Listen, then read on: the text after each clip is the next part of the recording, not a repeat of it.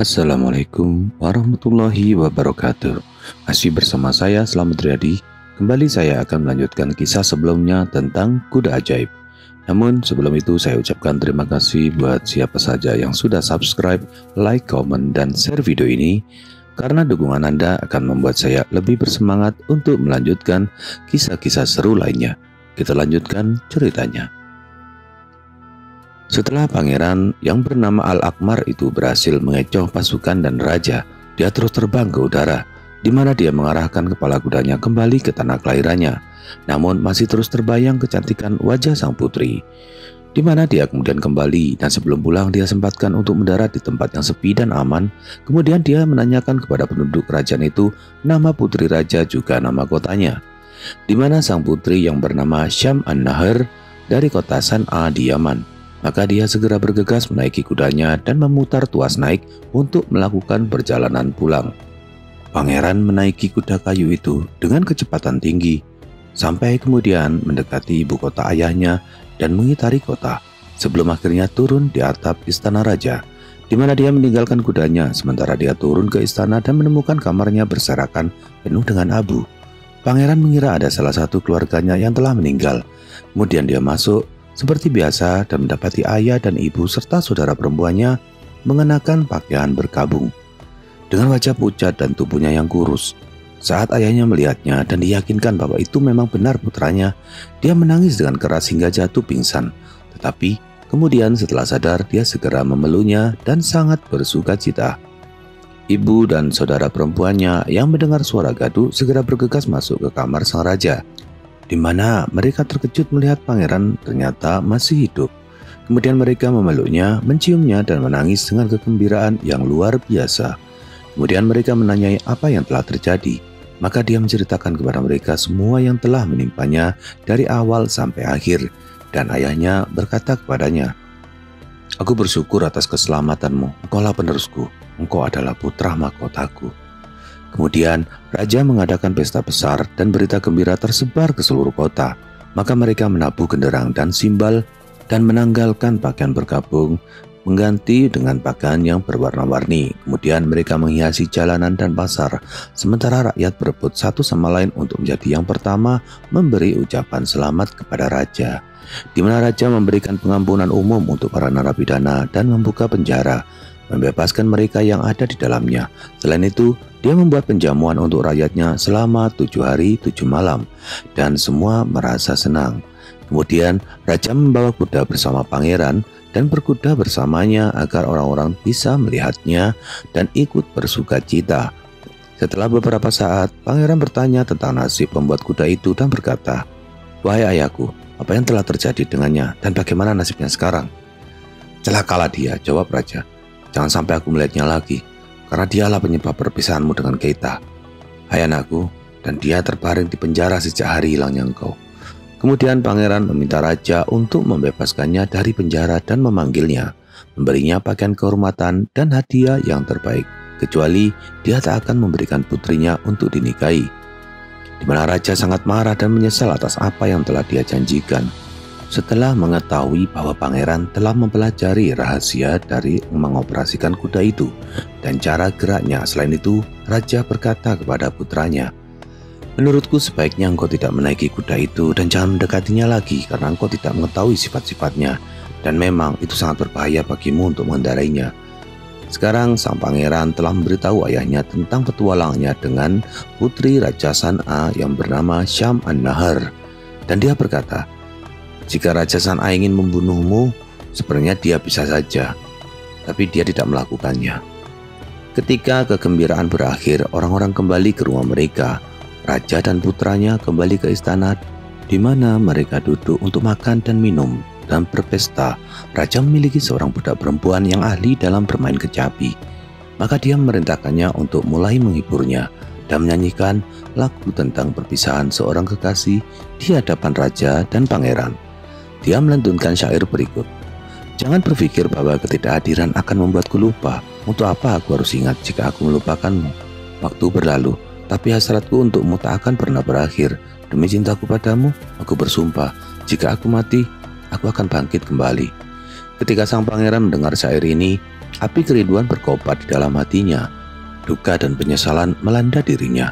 Hatinya sangat merindukan cinta dari putri Syam An-Nahar. Maka ia bangkit untuk menghindari perhatian dari ayahnya. Dia mengendap-endap ke istana ke tempat di mana kuda itu disimpan, kemudian dia bergegas menaikinya, memutar tuas untuk naik, kemudian ia terbang ke udara bersamanya. Kuda kayu itu terbang melesat menuju batas-batas awan. Saat itu ayahnya mencarinya dan segera pergi ke puncak istana dengan perasaan sedih. Dia masih sempat melihat pangeran bersama kudanya yang terbang menuju awan, di mana hal itu membuat raja sangat bersedih dan menyesal karena dia tak mengambil kuda itu dan menyembunyikannya. Dan dia berkata kepada dirinya sendiri, Sungguh, nanti jika anakku kembali ke istana, aku akan menghancurkan kudanya, agar hatiku bisa tenang dan kemudian raja badannya mulai lemas dan memasuki kamarnya menangis dan meratap untuk kepergian putranya. Sementara itu, pangeran terbang di udara sampai dia tiba di kota San'a dan turun di atap seperti sebelumnya. Kemudian dia turun secara diam-diam dan menemukan Kasim masih tertidur lelap seperti biasa. Dia mengangkat tirai dan masuk dengan mengendap-endap sampai di pintu kamar putri dan berhenti. Ketika itu, dia mendengar suara tangisan kesedihan dari sang putri sementara para pelayan wanita berbaring di sekelilingnya. Saat itu dia mendengar sang putri yang menangis dan meratap, dan salah seorang pelayannya berkata, Wahai Nona, mengapa engkau bersedih untuk orang yang tidak merindukanmu? Hai, kalian tahu apa bodoh? Jawabnya. Emangnya siapa yang melupakannya? Apa kalian yakin dia tidak merindukanku? Dan dia terus menangis sampai rasa kantuk menguasainya. Hati pangeran merasa tersayat mendengar tangisan sang putri. Kemudian dia masuk dan melihatnya sudah tertidur. Lalu dia membelai pipi sang putri dengan tangannya, di mana sang putri kaget dan membuka matanya, dan setengah tak percaya karena melihat pangeran sudah berdiri di sampingnya. Lalu pangeran itu berkata, "Ada apa kau menangis?" Dan ketika sang putri mulai mengenalnya, dia segera melemparkan dirinya dan memeluknya lalu menciumnya dan menjawab, Demi engkau dan karena aku telah berpisah darimu. Oh nana cantik katanya, aku juga sangat merindukanmu selama ini. Tetapi sang putri menjawab, Akulah yang lebih merindukanmu. Seandainya kau kembali ke sini lebih lama lagi, aku pasti sudah mati. Oh Nana cantik, sambuk pangeran. Bagaimana menurutmu situasiku dengan ayahmu? Dan kau tahu sendiri bagaimana dia memperlakukanku. Jika bukan karena cintaku padamu, aku pasti sudah membunuhnya. Tapi karena aku mencintaimu, maka sudah pasti aku harus mencintainya demi dirimu. Kata putri, terus bagaimana mungkin jika kau tak meninggalkanku? Bisakah kau hidup tanpamu? Jawab pangeran, biarlah. Yang sudah terjadi sekarang, intinya aku lagi lapar dan haus. Kemudian sang putri meminta para pelayannya menyediakan makanan dan minuman, dan mereka duduk makan dan minum sambil mengobrol sampai waktu menjelang fajar. Ketika itu, pangeran bangkit untuk berpamitan sebelum Kasim penjaga bangun, dan dia berkata, Mau pergi ke mana kamu? Ke rumah ayahku, jawabnya. Dan aku bersumpah kepadamu bahwa aku akan datang padamu sekali dalam seminggu. Tetapi sang putri menangis dan berkata, Aku memohon kepadamu demi Tuhan bahwa aku bersamamu ke mana pun kau pergi, dan buatlah aku tak merasakan lagi pahitnya perpisahan denganmu. Katanya, Maukah engkau pergi denganku? Dan dia menjawab, Iya. Kemudian, kagetlah agar kita bisa segera pergi. Kemudian sang putri bangkit, lalu dia membawa dan melengkapi dirinya dengan beberapa perhiasan dan membawa sedikit perbekalan. Kemudian dia membawanya ke atap istana dan menaiki kudanya membawa sang putri di belakangnya lalu mintanya untuk berpegangan erat pada pinggangnya. Setelah itu dia memutar tuas untuk naik dan kuda itu segera naik bersamanya ke udara. Ketika para pelayan wanita melihat ini, mereka menjerit keras dan melaporkan kepada raja dan permaisuri yang bergegas lari ke atap istana dan melihat ke atas di mana mereka menyaksikan kuda kayu itu terbang bersama pangeran dan putrinya.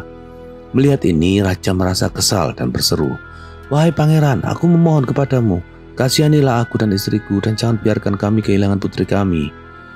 Pangeran tak memberikan jawaban, tetapi karena pangeran mengira sang putri menyesal karena telah meninggalkan ayah dan ibunya, dia berkata kepadanya, Hai Nona, apa kau mau kembali pada ayah dan ibumu? Sungguh aku tidak mau, jawabnya. Satu-satunya yang kuinginkan adalah aku terus bersamamu ke mana pun kau pergi, karena aku tidak mau berpisah lagi denganmu. Mendengar ini, sang pangeran sangat bersuka cita dan membuat kuda itu berjalan dengan lembut bersama mereka agar tak membuat sang putri gelisah. Mereka tetap terbang sampai mereka melihat ke bawah ada sebuah padang rumput hijau yang terdapat mata air yang mengalir.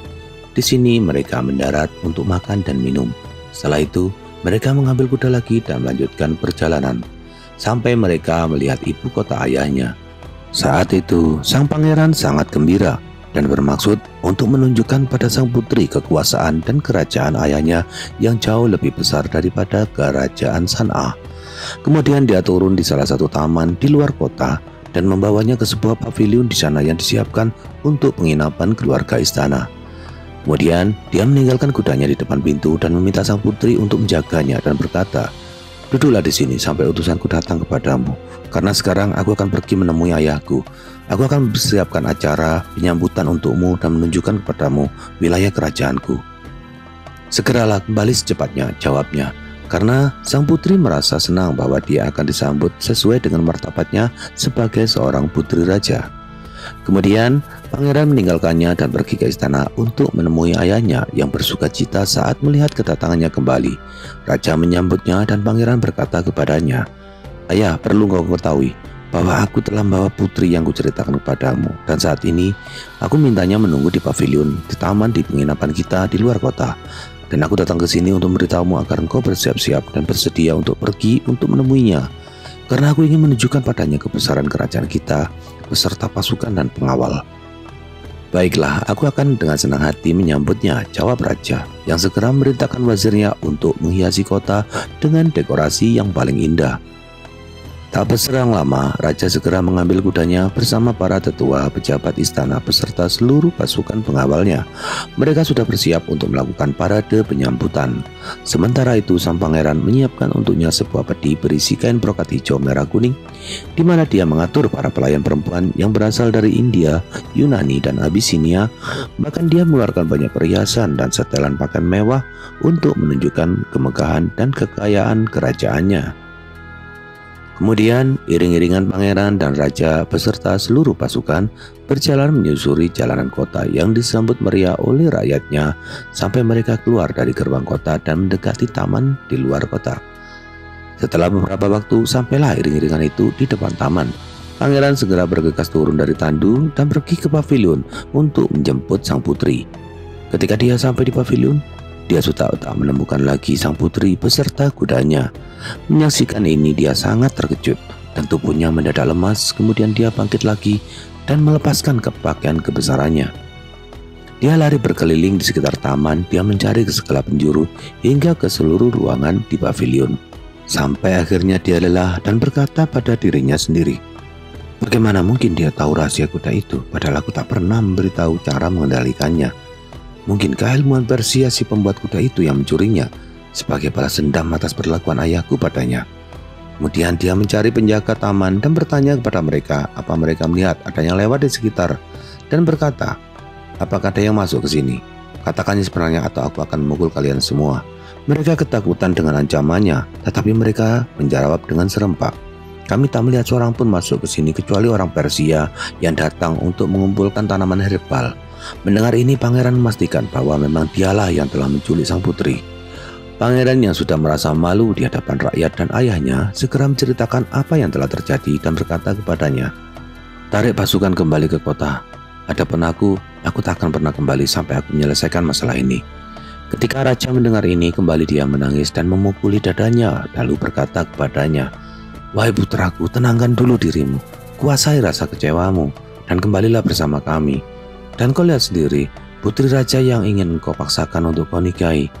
Tetapi pangeran tak mengindahkan kata-katanya, kemudian mengucapkan selamat tinggal padanya dan pergi. Sementara raja kembali ke istana dengan perasaan yang sedih dan gundah gulana, dan segala kegembiraan yang ada berubah menjadi duka cita. Jadi begini, seperti sudah ditakdirkan ketika pangeran meninggalkan putri di pavilion dan berangkat ke istana menemui ayahnya untuk mempersiapkan acara penyambutan terhadap sang putri, ilmuwan Persia itu memasuki taman memetik beberapa tanaman herbal dan bibit wangian dan essence. Orang Persia itu mencium keharuman aroma emas dan parfum yang dihembuskan dari sang putri yang menyebar ke seluruh tempat. Kemudian ilmuwan Persia itu mencari dan mengikuti asal bau itu sampai dia masuk ke area pavilion dan di sana dia melihat kuda kayu yang dia buat dengan tangannya sendiri. Dia berdiri di depan pintu memandang dengan sukacita kuda kayu itu. Hatinya dipenuhi dengan kegembiraan karena hatinya sempat dibuat sedih karenanya dan itu adalah hasil kerja kerasnya. Maka dia segera meriksa setiap bagiannya dan tak mendapati adanya kerusakan. Setelah memastikan bahwa kuda kayu itu masih utuh dan aman, dia segera naik ke atasnya untuk segera pergi. Kemudian dia berkata kepada dirinya sendiri, Hmm, aku harus melihat dulu apa yang pangeran bawa dan tinggalkan di sini dengan kuda kayu ini. Maka dia memasuki pavilion dan melihat sang putri yang duduk di sana dengan wajahnya yang bersinar cerah seperti matahari. Sekilas dia mengetahui bahwa gadis itu adalah seorang wanita bangsawan dan dia tak meragukannya.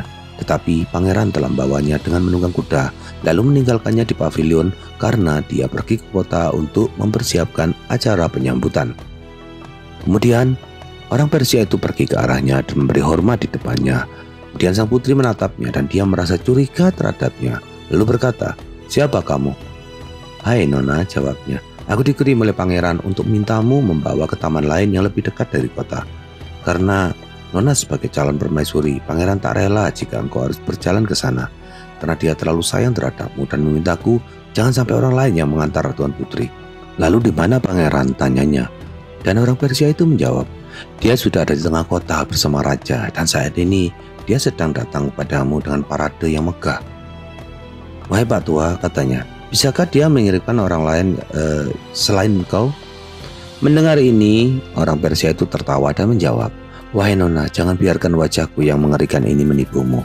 Seandainya aku tampan seperti halnya pangeran, kau pasti akan tertarik kepadaku.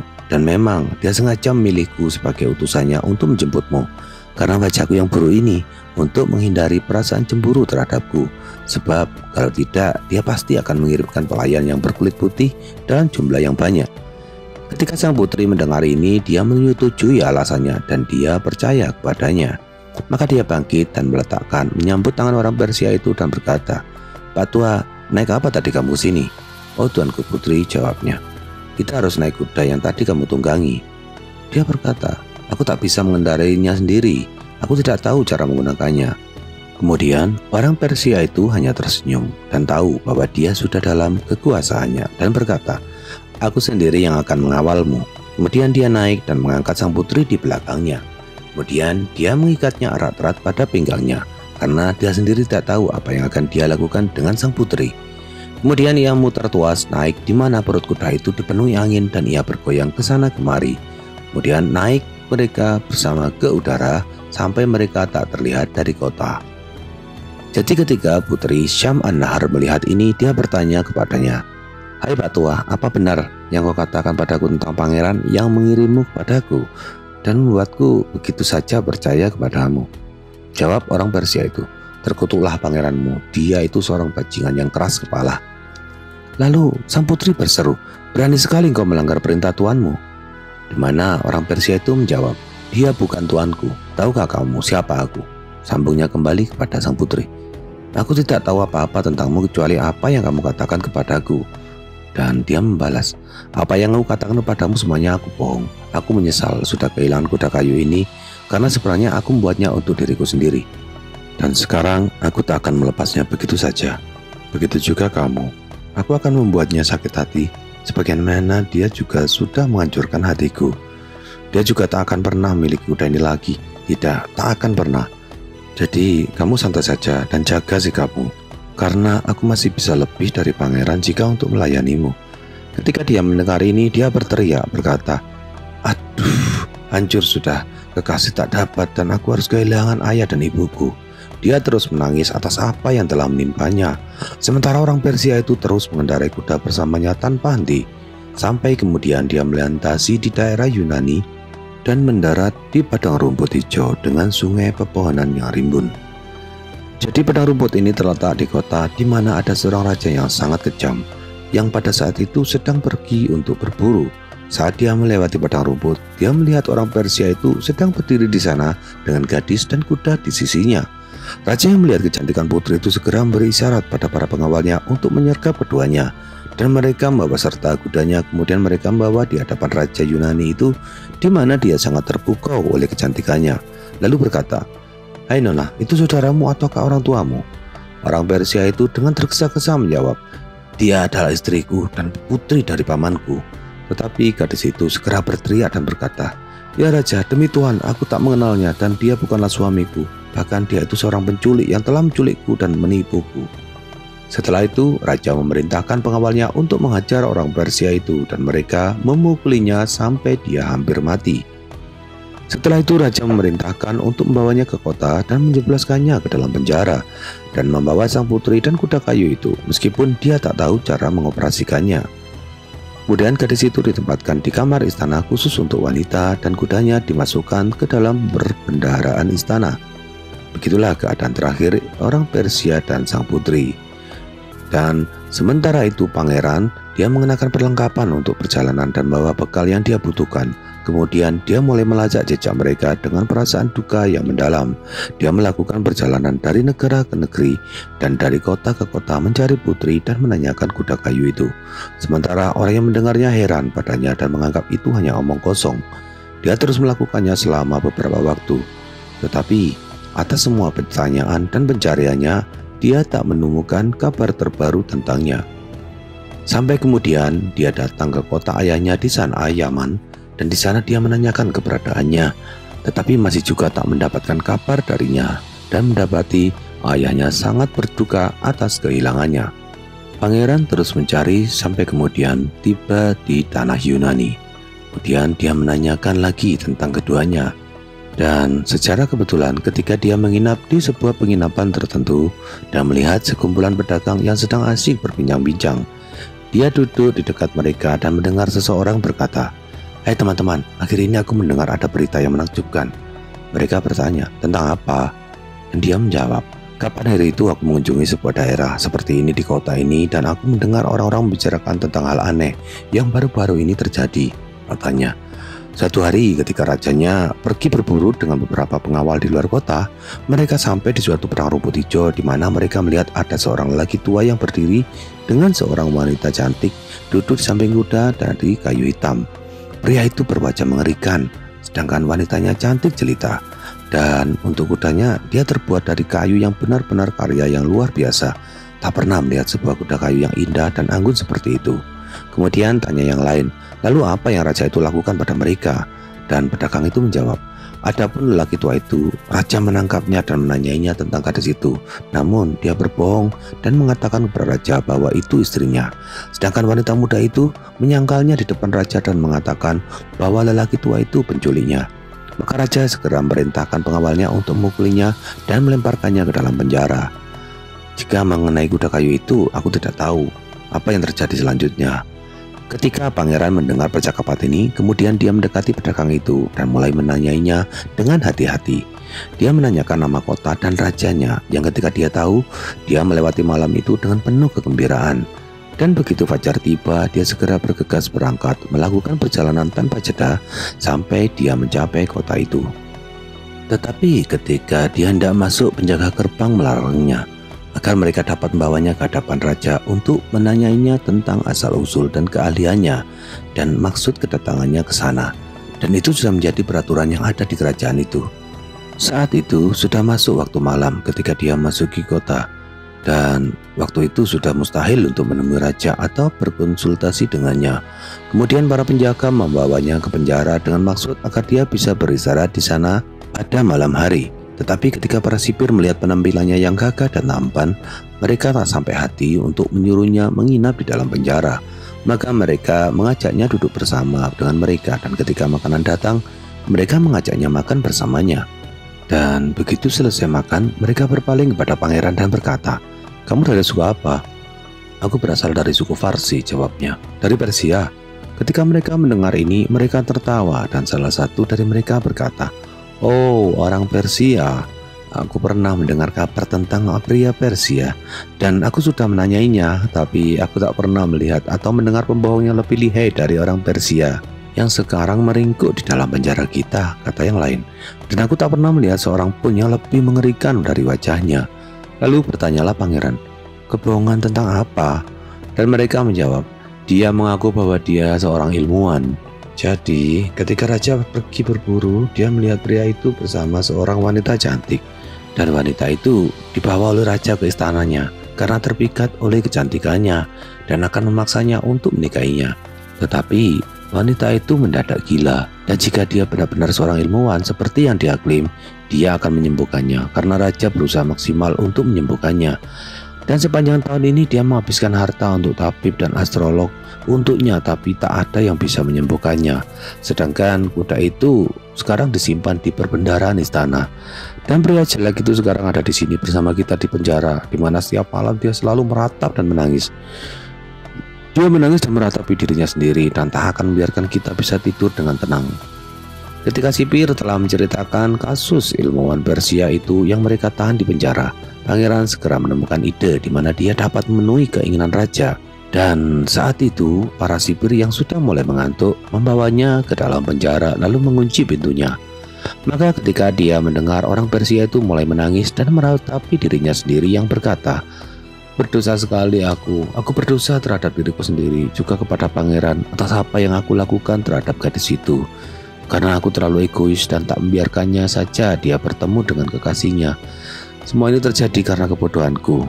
Aku terlalu memikirkan diriku sendiri dan apa yang kudapatkan hari ini semakin jauh dari keinginanku. Maka ketika putra raja mendengar ungkapan dalam tangisan orang Persia ini, dia segera menyapanya dalam bahasa Persia yang artinya, sampai kapan kamu akan terus menangis dan meratap? Apa menurutmu yang kau alami ini tidak dialami oleh orang lain?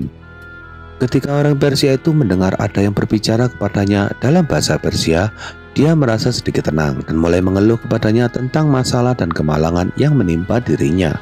Dan segera setelah pagi esok, para sipir mengambil pangeran dan membawanya ke hadapan raja dan memberitahunya bahwa pemuda itu memasuki kota pada malam sebelumnya di mana tak memungkinkan untuk mengantarnya menghadap raja.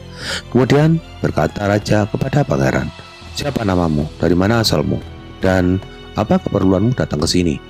Pangeran menjawab, Mengenai nama saya, saya dipanggil dalam bahasa Persia Harja. Saya berasal dari tanah Persia dan keahlian utama saya adalah seni pengobatan dan menyembuhkan orang sakit yang kerasukan jin hingga membuatnya seperti seorang gila. Itulah mengapa saya berkeliling dari negara ke negara. Luar biasa, kata raja.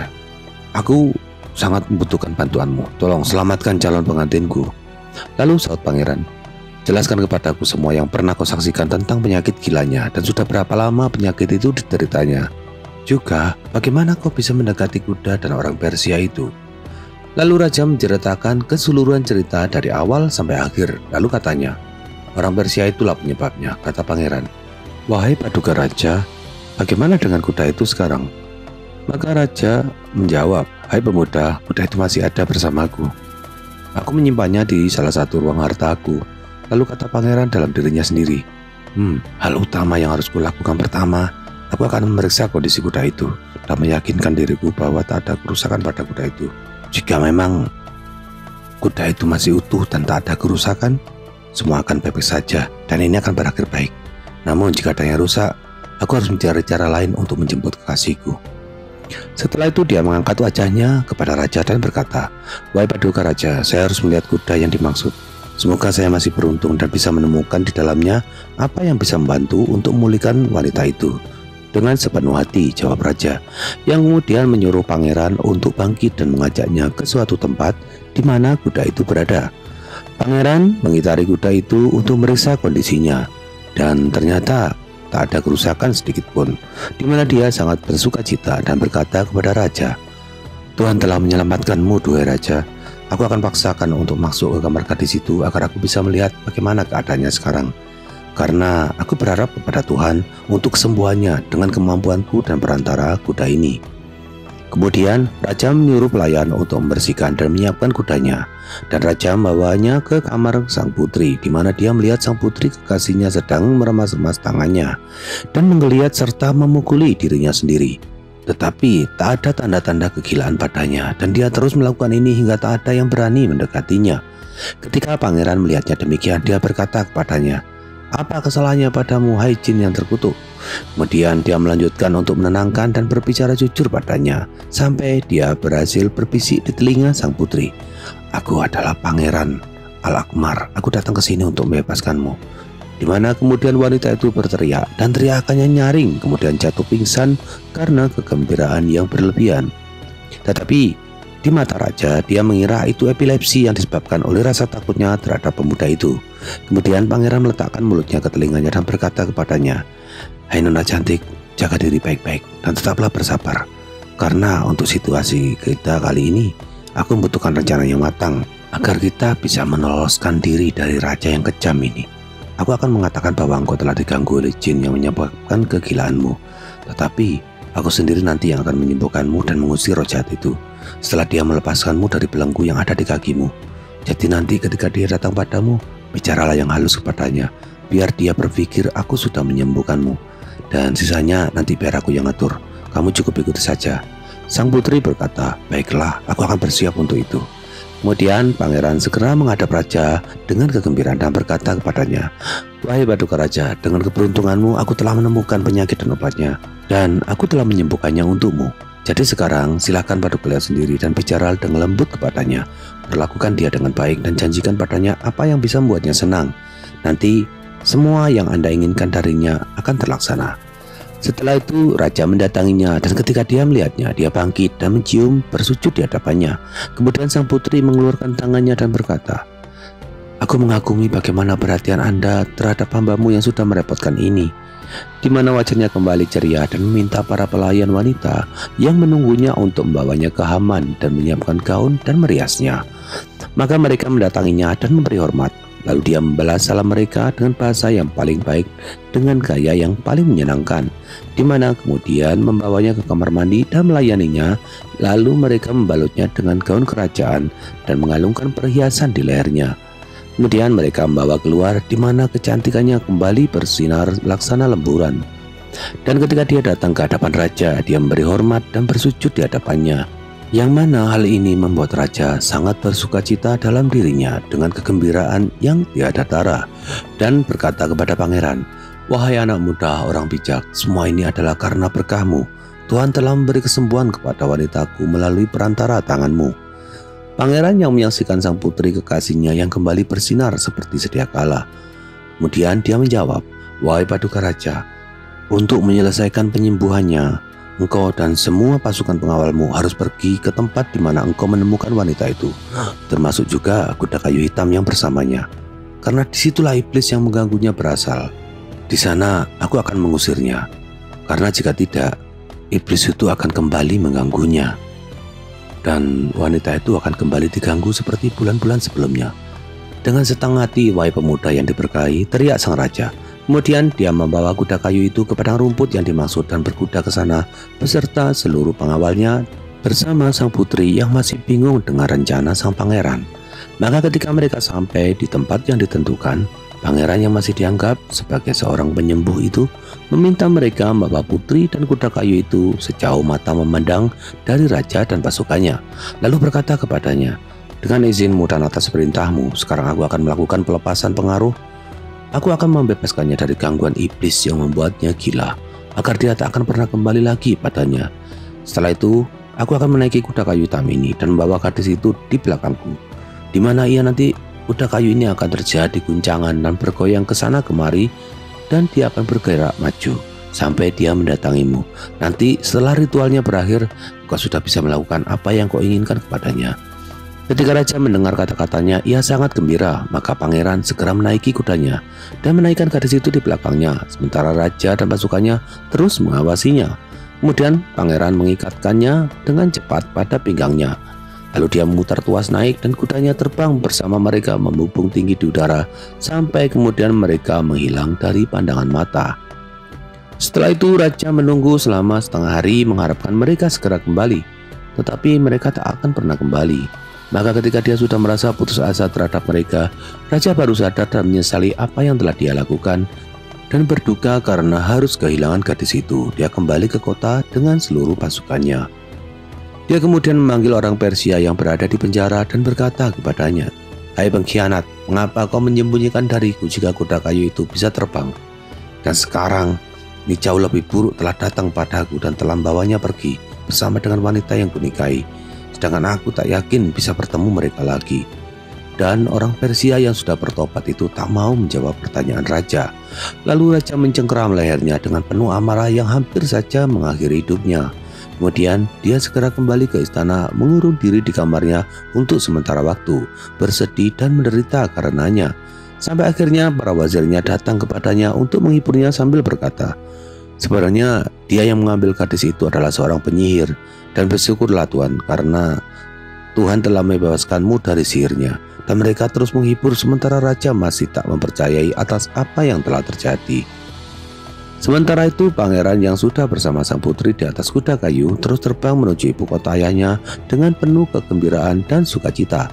Sampai kemudian mereka mendarat di istana, di mana dia menurunkan sang putri dengan aman. Setelah itu dia pergi menemui raja dan permaisuri, memberi hormat kepada mereka dan memperkenalkannya, di mana mereka dipenuhi dengan sukacita dan kegembiraan. Kemudian dia mengadakan jamuan makan besar untuk rakyatnya, dan mereka mengadakan festival besar selama sebulan penuh. Di akhir waktu, dia menemui sang putri dan mereka mengambil kegembiraan bersama satu sama lain dengan kegembiraan yang luar biasa. Tapi raja menghancurkan kuda kayu itu dan menghancurkan mekanis terbangnya. Kemudian pangeran menulis surat kepada Raja San'a mengabarkan kepadanya tentang semua yang telah menimpanya dan memberitahunya bahwa dia akan menikahi putrinya Syam An-Nahar dan meminta restunya yang saat ini dalam kondisi sehat dan bahagia kemudian mengirimkannya melalui seorang utusan bersama dengan hadiah mahal dan barang yang langka. Dan ketika utusan itu tiba di kota San'a dan menyerahkan surat dan hadiah kepada raja, kemudian Raja San'a membaca suratnya, menerima hadiahnya, dan merasa bahagia karena mendengar putrinya dalam keadaan sehat dan bahagia. Kemudian raja juga mengirimkan hadiah yang melimpah kepada menantu laki-lakinya oleh utusan yang sama di mana hal itu membuat kedua pasangan itu sangat bergembira atas restu dari Raja San'a dan Pangeran Kamar Al-Ahmar dan istrinya Syam An-Nahar tinggal dalam kenikmatan dan kebahagiaan. Itulah akhir kisah dari kuda ajaib. Silakan simak kisah-kisah seru dari kisah 1001 malam. Wassalamualaikum warahmatullahi wabarakatuh.